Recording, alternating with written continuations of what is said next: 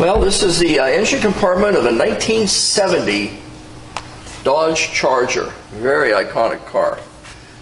The uh, engine is a 383 four-barrel N-code car, by the way, uh, and it is a 383 four-barrel hypo motor in this vehicle. The correct style dual snorkel air cleaner for 1970. It Does have a set of Mopar chrome valve pan covers uh, added to it and a uh, Mopar uh, tarantula type manifold. It's a single plane uh, X type manifold on it uh, that really produces a lot of a lot of mid-range power in these vehicles. It has its original style Carter AVS carburetor on it. Has a Prestolite appearing distributor to it, but the body appears to be uh, billet aluminum. I've never seen one like this before. That's a machined uh, body on it, and like I said, it appears to be a Prestolite, but and it even has a Prestolite ca cap on it, but just never seen an aluminum body Prestolite distributor like that before. This guy got one. Uh, new alternator on it, new belts, motor's been out and completely freshened up, new water pump on it, correct uh, uh, radiator in this vehicle. It does have a 24-inch radiator in it, which usually means that it came with uh, uh, 323 gears in it. Uh, the uh, core support is undisrupted. It still has its number stamped on the uh, front of the core support, and also the uh, fender tag still intact, and the uh, VIN tag on the dash is totally undisrupted with also the six-sided rivets that hold it in place. Again, you can see, that, well, you'll see it from Devin's still photos. The core support area shows you that this car's never suffered any trauma whatsoever. It's just as fresh and clean as it was when it was new. The um, inner panels and, and the, the, car appears to be, we'll see once we're underneath it, but it appears to be a total uh, rotisserie restoration. Uh, everything is too nice inside the uh, engine compartment here. Power steering, power brakes. Um, don't know if they're disc or not yet. We'll tell that from underneath. The uh, fan is a uh, fixed uh, seven blade fan. The um, shocks are new. I can tell that from on top. It does have a set of long tube headers on it. I don't know the manufacturer, but they are a set of long tube, and they appear to have some type of a high temp uh, coating on them. Uh, three-speed wiper motor, electronic ignition. The uh, heat is still hooked up to the passenger compartment, so if it happens to go to one of the northern states, uh, you still have uh, compartment heat uh, available to you.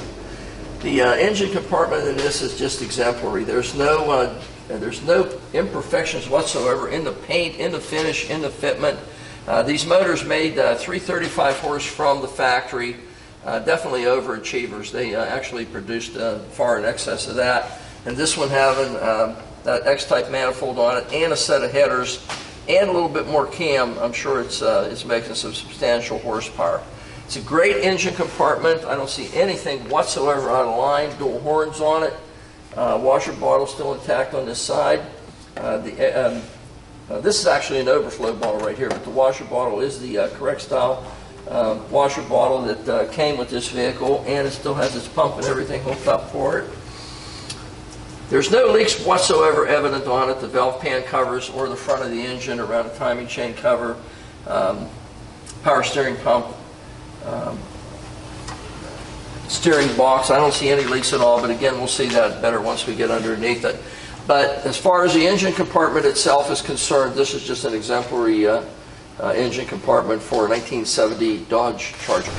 Hi, you're at Hanksters in Daytona Beach, Florida, and uh, we have a really, really unique uh, guest for you on the floor today. 1970 Dodge Charger. These things are so iconic and so popular at this point in time.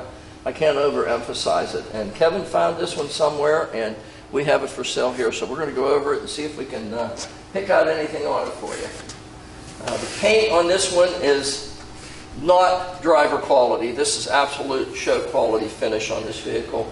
The fitment, you can see an eighth of an inch the whole way and across the uh, back of the hood where it transitions onto the uh, cowl area. But the fitment from the fender to the hood, to the cowl, everything is just exemplary. Turn signal lights still in the uh, inset just the way they should be. Um, a rubber piece that goes across the front here between the bumper and the hood, uh, nice and resilient the way you'd hope it would be. A lot of them turn kind of solid through the years. Again, the same kind of fitment here. You can see a little over an eighth of an inch of gap the whole way up to the fender, to the hood, and look at the fitment. Look at this. Nice as you'd ever hope to find. Chrome on the front bumper.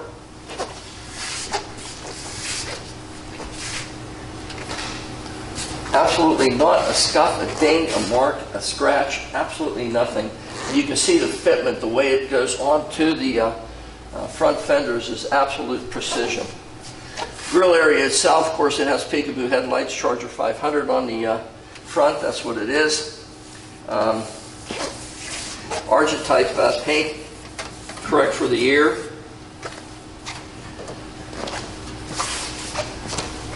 The grill itself has absolutely no chips or marks uh, or, or, sections missing. It, it's plastic and it, um, it has no pieces missing. The alignment of the uh, headlight doors to the grill itself, the main section, are as nice and straight and linear as you could probably hope to find. The um, parking lights in the front are amber, and the uh, valance, it's hard to see, but it uh, doesn't show any chips or marks or pulls or deviations whatsoever. So the front end of this car is as nice as you're ever going to find, and the paint is absolutely, absolute show quality on this vehicle. There's not a single imperfection uh, that I can see in the hood itself. Uh, dents, dings, absolutely nothing that I can determine from just looking at it and or running my hands over it at this point. Um, let's go down the side, see if there's something there. Okay, driver's side. Side marker lamp, no patina, nice and fresh looking, just as nice as you'd ever hope to find. Uh, this one does not have the optional uh, fender lip, uh, wheel lip moldings on it. But look at this here. Look. Unreal. Look at this. Rocker panel to the door, to the front fender, uh, to the top of the fender, to the cowl area. Absolute precision. Correct wiper arms and blades for this car. Uh, they appear to be uh, the correct type that uh, came with this vehicle. The um, padded dash itself has no warps or, or deviations whatsoever in it. It uh, uh, doesn't have any cracks. The um, VIN tag, like I told you, is just as nice and fresh and clean as can be on the original metal part that goes from the padded dash to the base of the windshield, which is absolute clarity the whole way across the bottom of it. There's absolutely no dirt or imperfections whatsoever in it. And the paint on the top of the, the metal part of the dash, just as clean and fresh as you'd ever hope to find. Trim around the front window. No imperfections whatsoever, absolutely none. The roof looks like a sheet of red glass. It uh, doesn't have any imperfections in it. We hardly ever find anything on a roof, very, very seldom. Uh, and this guy is just as flawless as you could ever hope to find a roof. Uh, it does have a uh, manually, uh, manually remote adjust uh, mirror on the uh, inside. Chrome around the wing area, just as fresh and clean as you'd ever hope to find. There's no patina whatsoever. And it's real common to see these with patina on. Even this piece down here, this has none, zero. The mirror the same way, it's just nice and fresh and clean. The top of the uh, trim that goes across the top of the door and the uh, quarter panel as nice as you'd ever hope. Drip rail, no imperfections at all, absolutely none. Look at the window fitment, the front glass to the rear quarter glass. Absolutely precise seal to it. There's absolutely no way that it's going to leak. Uh, door needs to go in just a hair. It, uh, it's just a little bit out. Uh, we have to adjust that in for you just a hair. Yeah, that has to go in just a little tiny bit. No big deal. One adjustment. That's the only thing we found so far. Charger designation. Usually these things are uh, kind of laden with some patina. This one has absolutely none. Sail panel area. There's absolutely no imperfections whatsoever in it. Trim around the back light. No dingies, marks whatsoever. Hatch shelf, which you can't see from where you're at, but the hat shelf is just as fresh and clean as it was the day this car left the factory. Has two auxiliary speakers in it. I don't know whose they are. Look like some type of a high-end uh, uh, speaker, though.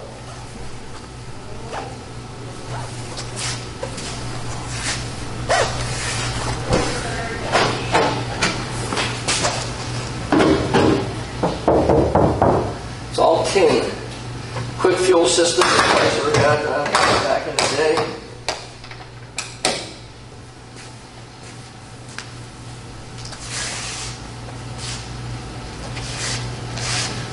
designation, side marker lamp in the back. Again, no patina on that, nice fitment. So that's the entire section of this car on the uh, driver's side. Only thing we found so far, that door needs to go in just a tiny bit, not very much, just a little tiny bit. It has a huge set of tires on the back. They're 15-inch uh, uh, Kelsey wheels, um, Magnum 500s, whatever you want to call them. Plymouth called them road wheels, I believe. Uh, correct centers on them for Plymouth also. Uh, BFG uh, radial TAs, kind of everyone's choice for these vehicles at this point. And again, a huge set of tires in the back, uh, a smaller set in the front, a little narrower. Uh, it has a nice look to it, real nice stance. These things have such huge wheel wells in the back that you got to fill them with something, and somebody really did with that one. I don't know what size it is, but you'll see it on our specification sheet that uh, Donnie writes up. Uh, but it'll tell you what size tire it is. Phenomenal paint on this car so far. I haven't found a single chip or a mark or a scuff uh, or an imperfection in it. Uh, one door adjustment, and that's it. Let's go out back see if we can find something else. Okay, rear section of our Charger. Uh, again, the fitment of the deck. Look at this. Absolute precision, and the way everything lines up on it, it can't be any better. By the way, these stripes are painted on. This is not tape. This was painted with the vehicle whenever it was done. Again, the paint on this thing is just exemplary. It's not average. It's not driver quality. It's absolutely gorgeous paint. Absolutely. Okay, trim around the back. No marks, no dinghies. Wait a minute. Take that back. Little dinghy here, little dinghy here. Somebody taking something out of the trunk. Put a little tiny mark here. Certainly nothing you'd ever replace. You see it from the top. It's not on the side. You can't feel it there either. Uh, tail light assemblies, really dramatic on these vehicles. Got a huge set of inset tail lights here. Uh, semi-flat black uh, inset in the back to really set this thing off. Bumper fitment in the back is just about as sweet as you'd ever hope to find, just like it was up front. Uh, bumperettes in the back. There's no uh, deterioration whatsoever on them. Check the side here. There's no marks or dings or anything from uh, anyone backing this thing into anything or anyone tapping it through the years. The uh, rear valance with the parking lights still in them, the way they should be. There's no uh, deterioration also around the parking light uh, bezels. Correct style exhaust tips going out the back for 1970. Rear valance fits just as it should. There's no pulls or marks whatsoever on it. And there's also no scuffs on the top of this bumper either. The chrome on it's very, very nice. Um, the alignment, uh, everything on the back end is just as sweet and nice as you'd ever hope to find. Like I said, these two little tiny, tiny dinghies. One here and one here. That's it. That's all we found. One more side. Okay, our last side, our passenger side. Again, take a look at this uh, Charger 500 designation, painted on stripes. The uh, side marker lamp, uh, no patina whatsoever. Look at this, all tin. Quarter panel is just as fresh and nice as you'd hope to find. There's no deterioration whatsoever. Same thing with our Charger nameplate here, the sail panel. Ah, trim around the back light on this side. Same as it was on the other side. Absolutely no imperfections, no deviations. This is all tin on this car. Now this door fits right on the money. You can't, I don't have to touch this one. This guy's going to stay just the way it is. Look at this, to the rocker panel, to the quarter panel, the door. Just precision, nice fit. Front glass to the quarter glass, the same as it was on the other side. You can't really see them, but and I can't even feel them, so I can't really voice an opinion. But there, I know there are wipes whiskers, but they're tucked down on this car because of this trim, and I can't really can't really put my fingers on them. But judging from the rest of this car, I'm sure they're going to be exemplary just the way this car is. This piece here, same on the other side. Uh, usually this piece is deteriorated all the heck. It is not on this car. It's, it's just as fresh and clean as you'd ever hope to find. The um, drip rail, same as the other side. There's absolutely no uh, marks, no dinghies whatsoever in it. Um, chrome around the wing area, as fresh as you could ever hope to find, even down here. And again, this uh, trim across the top here, nice as you'd ever hope for. The uh, door handle, chrome is very nice on it the same way. It looks like it's original like the other side, but it doesn't have any wear or deterioration to it. Look at this fitment. Look at this. This is crazy. Look at this. To the hood, to the column, to the fender, to the door, to the rocker panel. Everywhere on this thing. One door adjustment and that's it.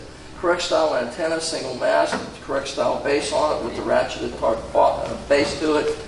Trim around this side of the windshield, which is a sunshade fade type of glass. It's just as nice as you'd ever hope to find. Marker lamp in the front. And we're back where we started again.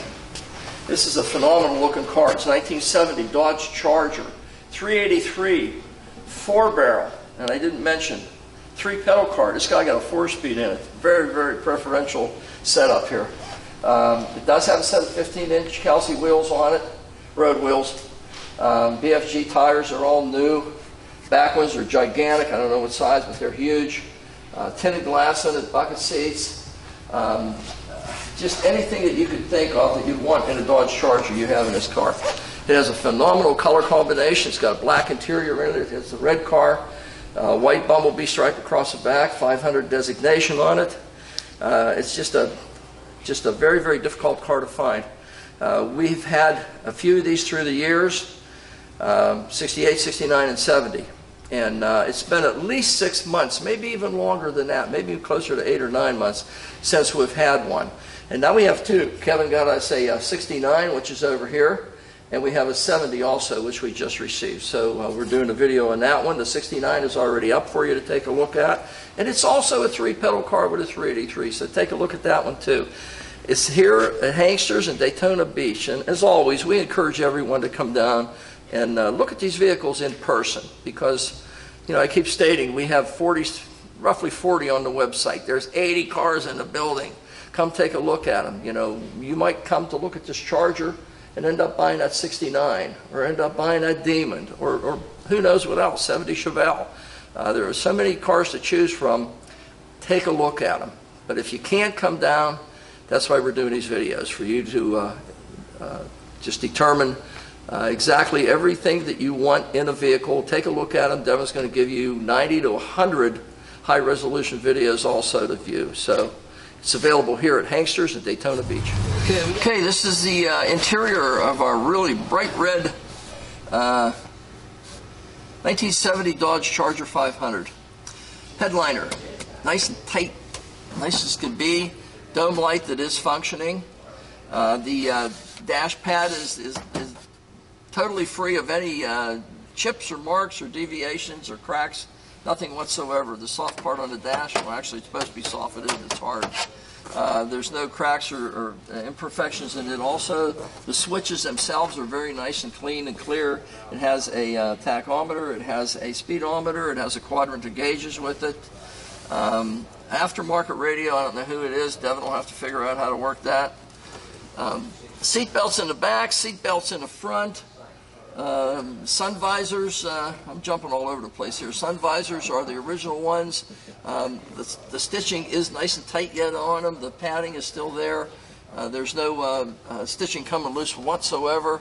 The back uh, seat upholstery matches the front, which is also correct style upholstery for 1970.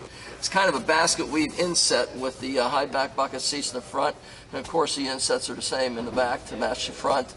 Uh, trash trays in the back, trash tray in the front. Look at that, spotlessly clean even. Uh, the uh, side panels in the back are nice and fresh and clean. There's no deterioration whatsoever on the top of them or the door panels themselves either. You can see the window cranks are just as fresh and clean and shiny, same as they are on both doors in the front, our remote control mirror.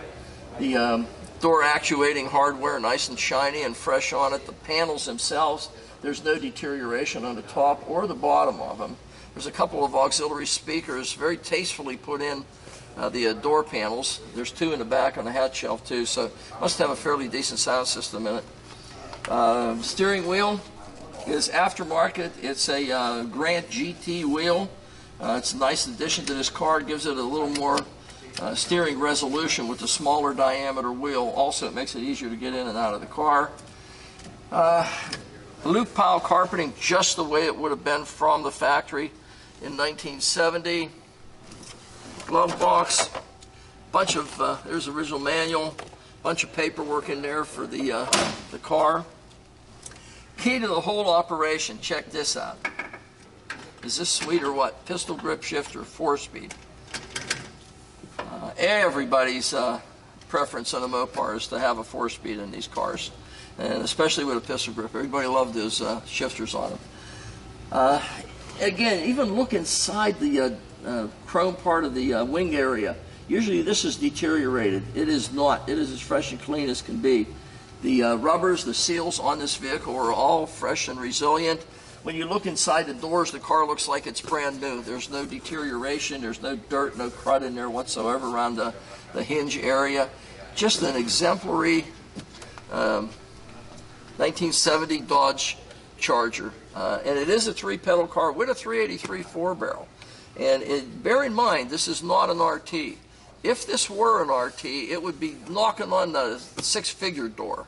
You're going to buy this car for substantially less than that and still have very close to the same performance and absolutely the same looks. There's no difference whatsoever from an RT other than a couple badges to this car. Uh, it's a fantastic car. It's a great color combination. It's a uh, uh, great addition to anyone's collection.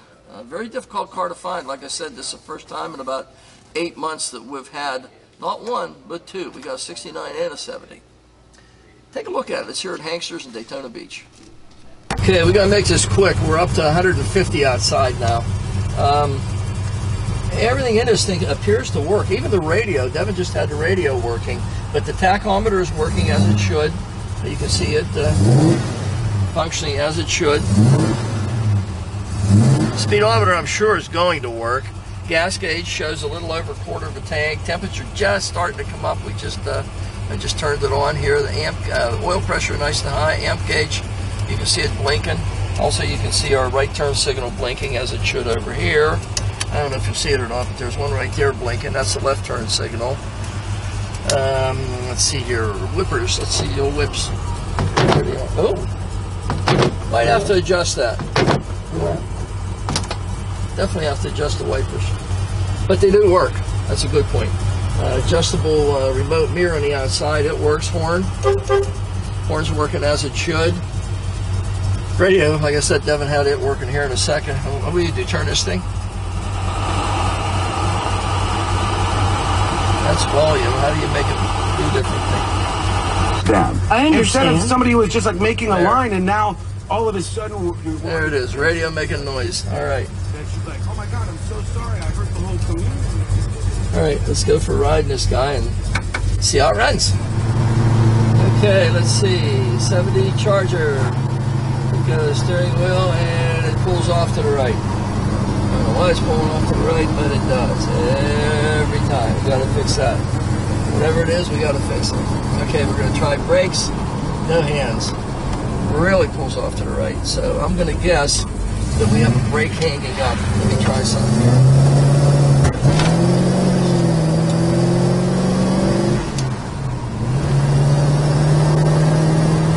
Try putting the brakes on. Now let's see if it still pulls.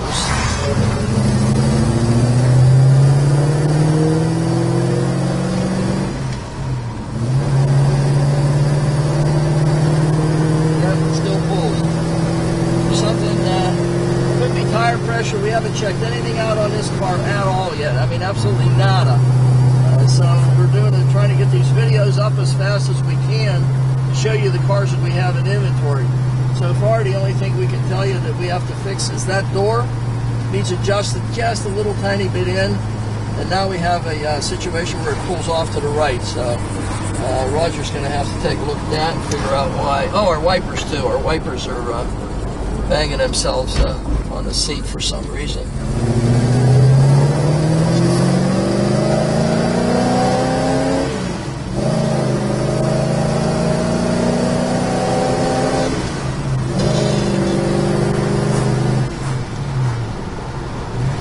Bulls.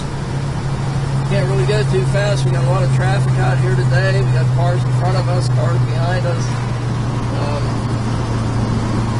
still pulls to the right for some reason. I don't know why. It's just pulling us to the right. I figure out there's got to be a brake hanging up. Either that or tire pressure's not even uh, it could be almost anything. At any rate, it won't be that way when you buy the car. Uh, the door will be adjusted, the wipers will work the way they're supposed to work, and it won't be pulling off to the right hand side. Anything that we show you in these videos, we go back and address. And those are items that uh, obviously have to be addressed prior to the uh, delivery of this vehicle, and they will be done. Uh, so we're not going to send out a vehicle that uh, pulls the way this one does, or wipers that whack the base of the uh, windshield. Um, all that needs to be fixed, and it will be. But other than that, aesthetically, this car is really nice. The paint's phenomenal on it. The fit is fantastic, with the exception of the left door that needs adjusted. Uh, everything works on the dashboard, the gauges and everything. It's a nice, it's a nice running car. This is the uh, underside of our, as you can tell, rotisserie restored 1970 Dodge Charger 500. Um, very well done vehicle. Very well done. Um, drum brakes in the front, drum brakes in the rear. They did not go with the discs. At this point in time, Mopar drums were as good as the other manufacturers' discs were anyway. The uh, sway bar in the front has neoprene bushings in it. There's new shocks in the front, uh, new steering uh, um, tie rod ends.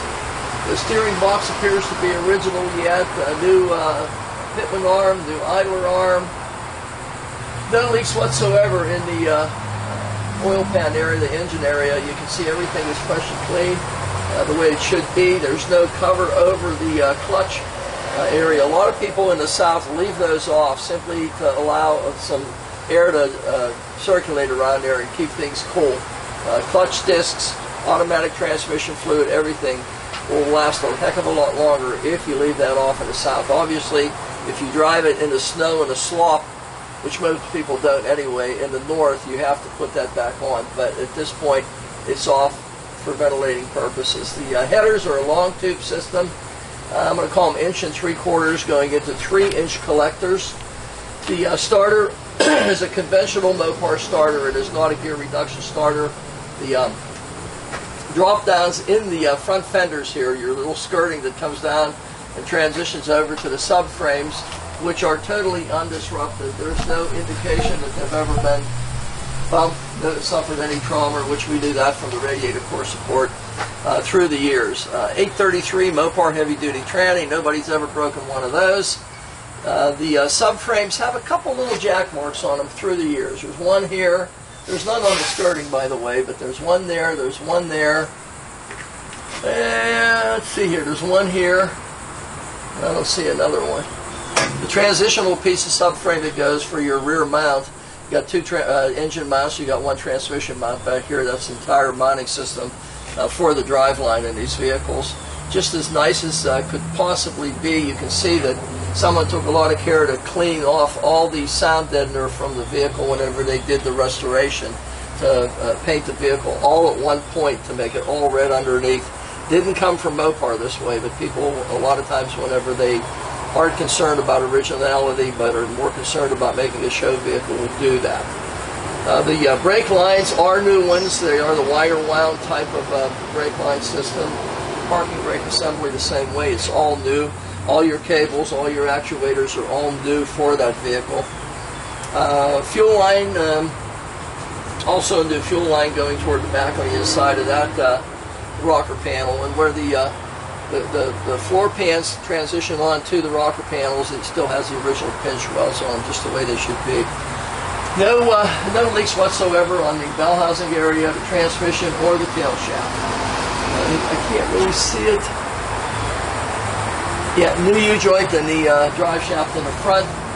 Three-inch collectors transition into three-inch pipes that go into an X pipe here uh, to help flow characteristics of the vehicle and also produces a lot more mid-range torque. Going into a set of MagnaFlow stainless steel uh, mufflers have a real nice deep throaty sound to them. Uh, floor pans themselves, there's no dents or dings whatsoever in them. You can see everything is just the way it, it was when it was uh, put on uh, by Chrysler.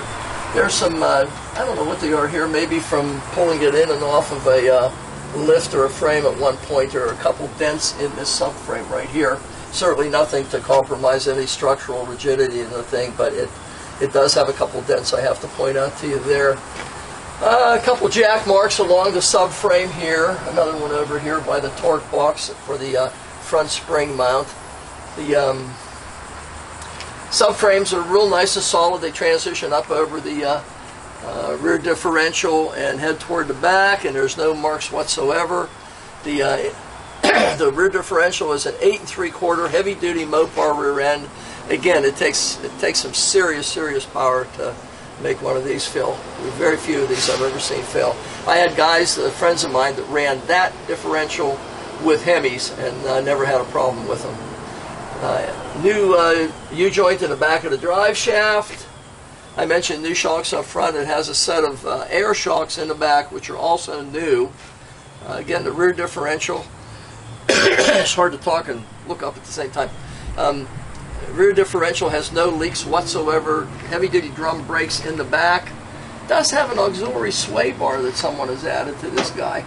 It does have a uh, sway bar. You really got to look to see it, but it is there, and it's uh, for the rear end of the vehicle. The springs have a nice curvature to them, a nice arch. The uh, spring shackles themselves are real nice and clean. Where they mount onto the uh, auxiliary subframe sections in the back, nice and clear mounting. There's no deterioration. There's no indications that the floor's ever been replaced. The drop downs in the quarters are just as fresh and clean as you'd ever hope to find.